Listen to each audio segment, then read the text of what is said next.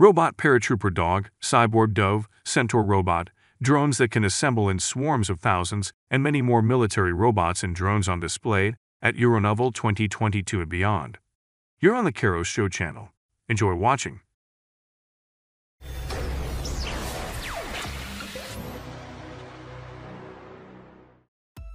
At the Euronaval 2022 military exhibition, the latest Blue Shark warship of the French company Naval Group was presented. It is a surface concept ship consisting of a main hull and two floats.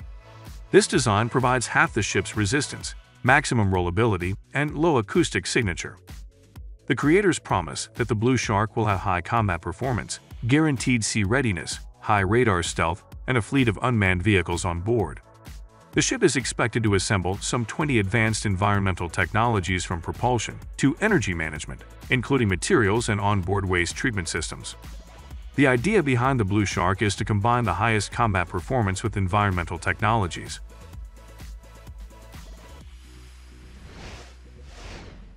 Also at the Euronaval 2022 military exhibition in Paris, the rapid-fire autonomous drone swarm-killing turret was unveiled. The novelty was presented by Nexter and Thales. In modern warfare, assets worth billions of dollars, such as warships, face cheap but deadly threats such as drones, floating mines, and hover munitions.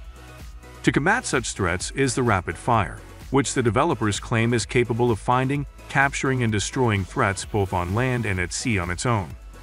For quick fights, there are 140 rounds of the rack, which should be enough for about 30 interceptions. The turret can also be controlled remotely, it is equipped with high-precision optics of the electronic fire control system, with multispectral sight and high-speed laser rangefinder.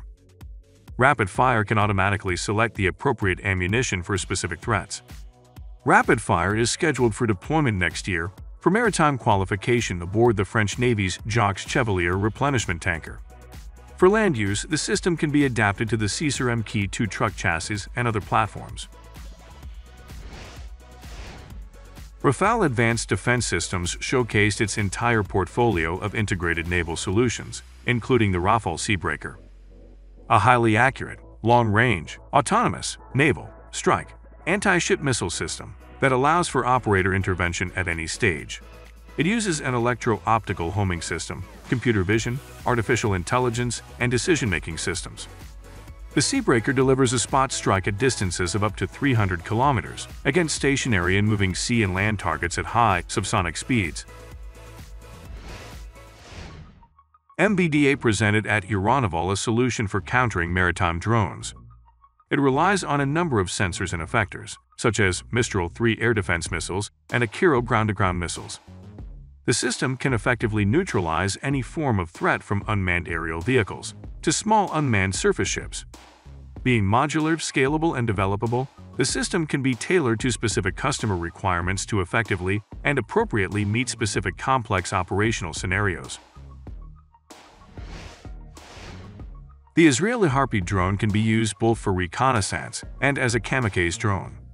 Its own radar and navigation system allows it to act according to a pre-written program written by the operator or search for targets by radar itself. The radar allows the drone to quickly locate enemy air defense systems by their emissions. The Harpy is virtually impossible to jam, and it is a difficult target for air defense because its composite hull does not allow it to be detected at long range. Secondly, even kamikaze drones can be reusable. For example, Hero, which is a further development of the Harpy drone concept. Using a visual target classification system borrowed from the Spike missile, Allow these kamikaze drones without using radar to detect targets visually and identify target type by comparing the picture with a three-dimensional library. This allows the drones to be completely autonomous. The operator can literally only specify the square of the target search, after which the drone will automatically leave the launcher and fly to the specified square to look for targets. If no targets are found, the drone will return to the square specified by the operator and land by parachute. Then it can be used again after refueling. This is fundamentally different from earlier versions of kamikaze drones, for which each flight was the last. Third, drones have learned to operate in swarms, which multiplies their value, capabilities, and destructive power. These kinds of drones are capable of conducting coordinated attacks with minimal involvement from the operator. Taking off, forming, and holding formation, following the route, returning to base and landing are done autonomously, some drones are capable of selecting and engaging targets independently, alone or coordinating with other team members. The systems-based neurotechnology for emerging therapies program has become a major project. The program is designed to create an implantable closed-loop diagnostic and therapeutic system for the treatment of psychoneurological diseases. Essentially, the program wants to create a brain implant to help soldiers deal with post-traumatic stress disorder and other problems.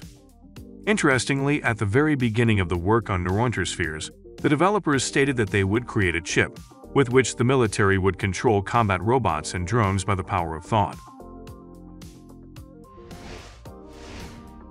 Northrop Grumman is also working on autonomous drones that can exchange information between themselves and the manned vehicle.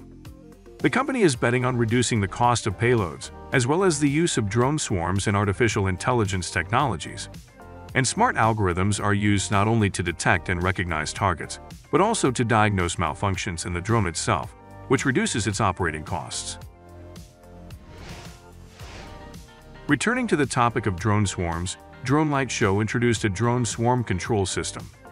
It picks up the operator's intentions, controls drone trajectory and swarm status, such as taking off in an animated sequence, controlling the drone's camera, and landing in real time. The technology is in its early stages, but has great potential for use. The MQ-9 Reaper or Predator B drone from General Atomics Aeronautical Systems is used not only by the Air Force but also by U.S. Customs and Border Protection. The drone is positioned as the world's first hunter-killer with long-range and high-altitude surveillance capability, although it is not the most technologically advanced combat drone today. With multiple upgrades and millions of flight hours under its belt, it can take off at an altitude of 14 kilometers or 8.5 miles and stay in the air for up to 30 hours. The drone has a top speed of 480 km per hour, or 298 miles per hour.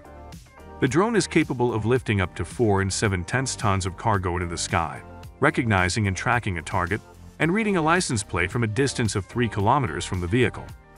Reaction time to a command received from the operator is 1.5 seconds. The drone is armed with an anti-tank missile and guided bombs. The drone can also carry up to 14 air-to-ground missiles. And on the topic of the presentation of military technology, it is impossible not to mention China. The Chinese company Kestrel Defense demonstrated the throwing of an armed robot drone. According to the defense company, the drone can move behind enemy lines and conduct a so-called surprise attack by dropping a robot dog. It turns out to be such fighting dogs coming down from the sky.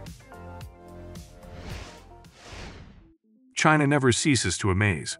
Recently, researchers from Shandong University of Science and Technology created the cyborg pigeon. They implanted a chip in the bird's brain, then attached a solar panel about half the size of a smartphone screen to its back to power the control device. As a result, scientists were able to control the pigeon's flight for two hours.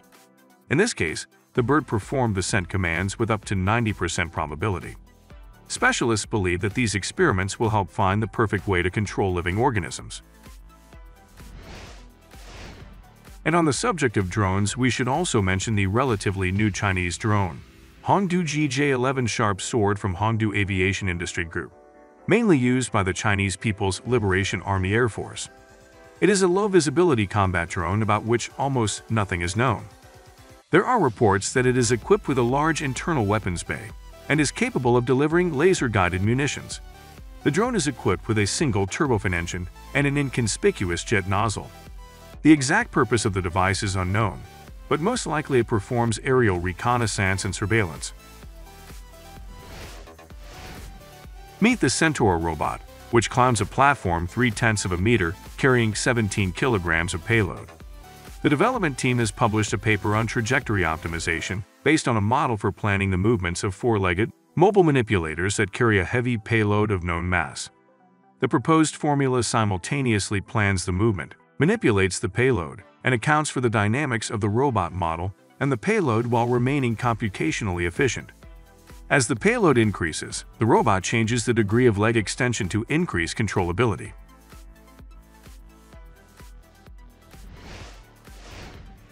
One of the key areas of focus for leading military robot companies lately has been the creation of robotic pilots and artificial intelligence capable of controlling aircraft and helicopters, including combat ones, so very soon should pass the final tests of artificial intelligence control technologies on Sikorsky helicopters.